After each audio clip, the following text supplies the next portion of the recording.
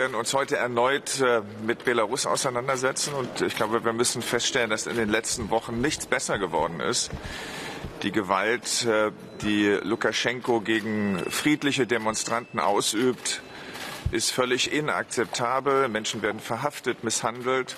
Und deshalb werden wir uns auch heute mit der Frage auseinandersetzen, ob wir nicht nur diejenigen, die an Wahlfälschung beteiligt waren und diejenigen an Misshandlungen vor Ort beteiligt waren, von der Europäischen Union sanktioniert werden, sondern wir müssen uns auch die Frage stellen, ob nicht Herr Lukaschenko, derjenige, der der Hauptverantwortliche ist, ebenfalls von der Europäischen Union sanktioniert werden muss.